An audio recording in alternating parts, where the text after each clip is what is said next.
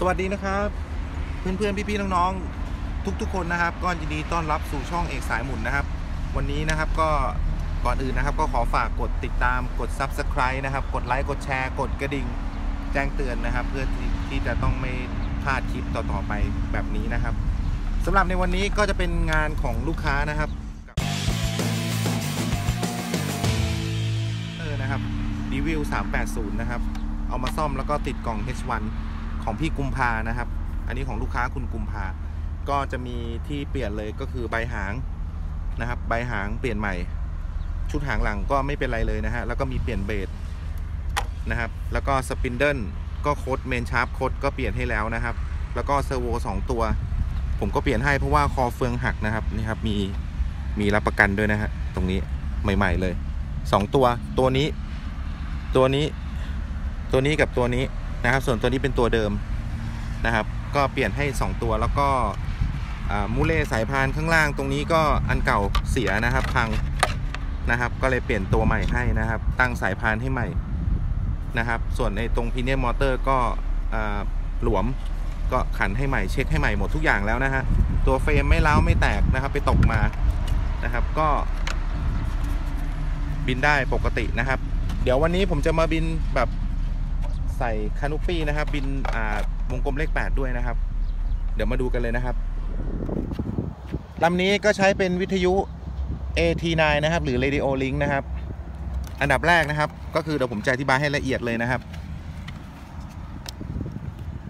สวิตตัวนี้ก็คือวงกลมเลข 8 นะครับ สวิตตัวนี้ normal GPS แล้วก็ return home นะครับ ตัวนี้ arm motor นะครับ จะมีใช้อยู่ด้วยกันแค่ 3 ตัวตัวนี้ตัวนี้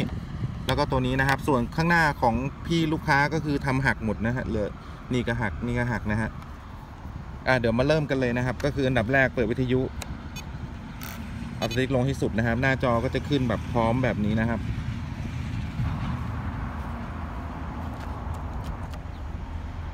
เสียบแบต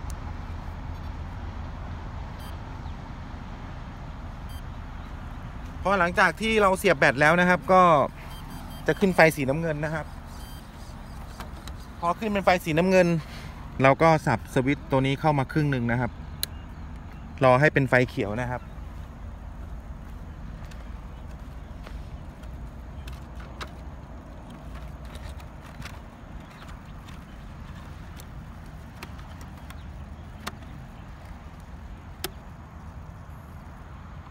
รอสักครู่นะครับ มันจะขึ้นเป็นไฟเขียว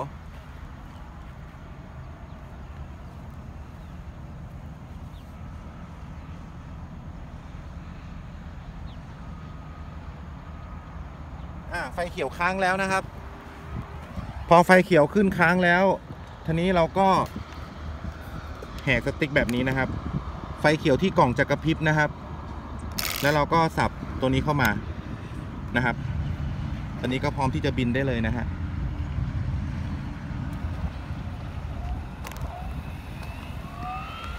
รอให้รอบมันได้ก่อนนะครับ พอรอบมันได้แล้วก็ค่อยๆยกคันเร่งขึ้นมารอให้รอบมันได้ได้แล้วนะครับ ตอนนี้ยกคันเร่งขึ้นมาเรื่อยๆนะครับ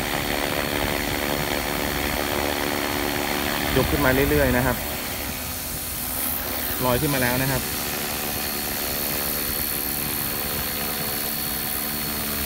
อันนี้วิทยุไม่ได้ทำอะไรเลยนะฮะ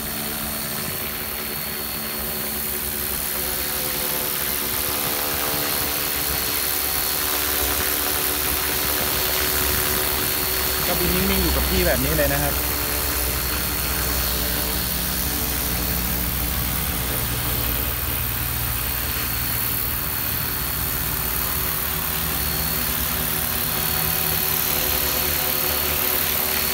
างนิ่งนิ่งทุกอย่างนะครับ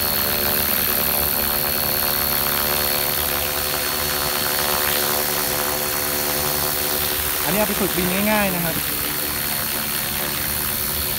เดินหน้านะครับนะครับ เดินหน้าถอยหลัง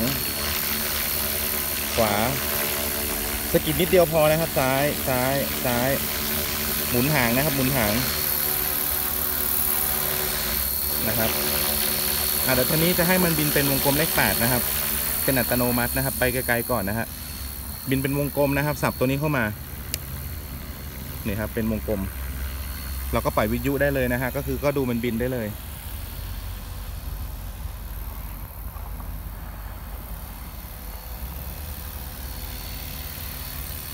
นะครับตอนนี้เป็นเลข 8 นะครับ ก็สับตัวนี้เข้ามาอีกอีกอีกแก๊กหนึ่ง อ่าเป็นเลข 8 นะครับ บินอัตโนมัตินะครับ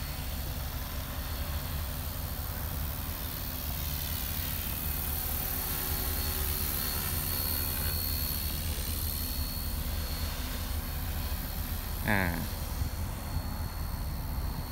ตอนนี้เราจะให้มัน return home นะครับ ทุกครั้งที่ให้รีเทิร์นโฮมเราสับตัวนี้คืนไปให้หมดก่อนนะครับครับก็จะหยุดอยู่กับที่นะครับ แล้วเราก็สับสวิตตัวนี้เข้ามาอีกแก๊กหนึ่งนะครับ ด้านซ้ายนะครับ อ่าเดี๋ยวทีนี้มันจะลงลงจอดเองนะครับ ผมจะวางวิทยุเลยนะฮะ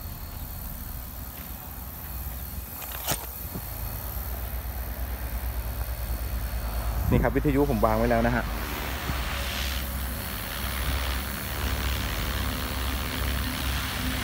ตอนที่กำลังจะลงจอดเราสามารถที่จะโยกเปลี่ยนตำแหน่งได้นะครับ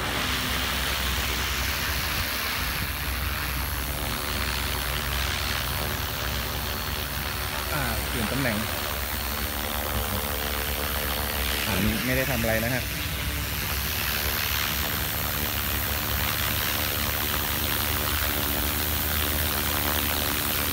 ลงมาแล้วนะครับ ลงมาเรื่อยๆแล้วนะฮะ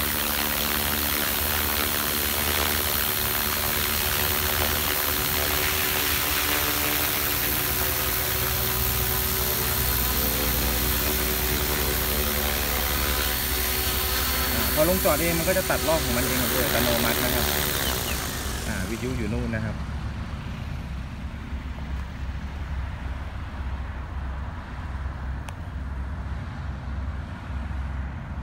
หลังจากที่อ่าลงมาจอดแล้วนะครับ เราอย่าเพิ่งปิดวิทยุนะครับ เราก็ดึงแบตเตอรี่ออกก่อนนะครับ แล้วก็ค่อยปิดวิทยุเป็นการเสร็จสิ้นในการเล่นนะครับ แล้วก็เอาแบตออก